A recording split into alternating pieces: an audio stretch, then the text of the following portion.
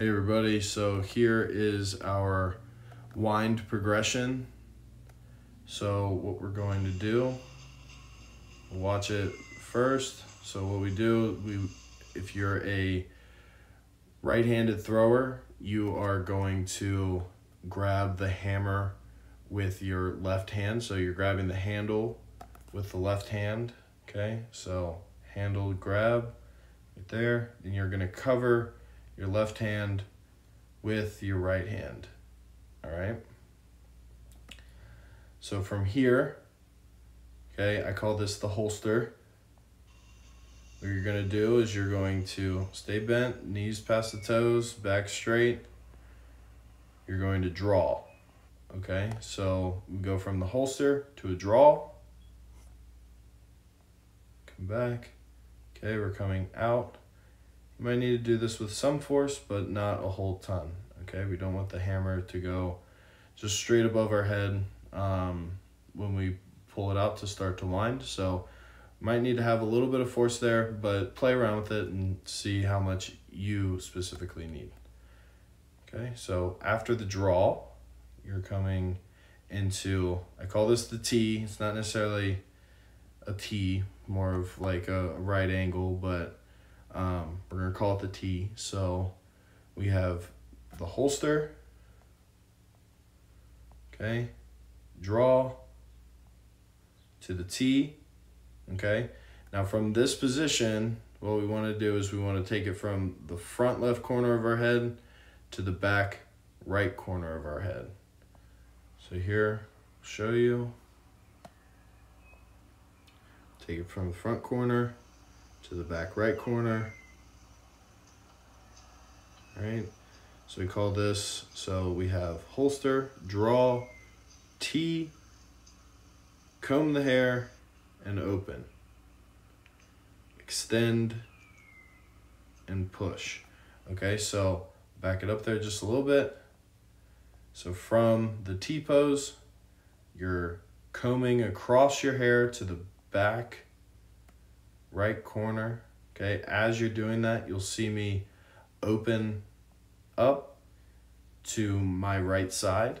Okay, this allows me to act on the hammer a lot earlier than if I were to keep my shoulders facing forward.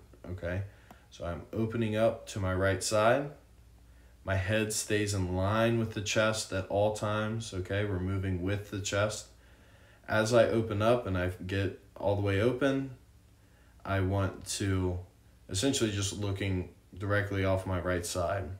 Once I get to that point, I'm going and I'm extending my hands out. So extend. As soon as you extend, you're starting to push. Now when we push, we're only using our right end, our right hand, so try and isolate that and just imagine yourself pushing the right hand as you go through these um, this mock wind drill. Okay, so here we go. We're gonna go and we're gonna grab the hammer we're gonna we're gonna do a full motion. Okay, we'll slow it down. Here, this is a drill where being calm and relaxed and focusing on control instead of just trying to rip it around is going to benefit you a lot more. Okay, so I do a couple of them here. So we start from the holster. Okay. Holster, draw, T, T, comb, extend, and push. Okay. So as soon after you get it started, now all you have to do, you don't have to do the, the holster, the draw again, okay? So now all you do is you're going up. As soon as it gets to pretty much on your right shoulder, all right? Right shoulder to the center of your body, you want to go back to a T, to open up, extend, and push. Okay, there'll be more on the push here in later videos. but this is our wind progression. My recommendation is to do it without the hammer, and if you have a hammer and you're wanting to um, practice it with the hammer, try it without it first, get some confidence in the order of events, and then try it slow, and then slowly build up until you feel comfortable with it.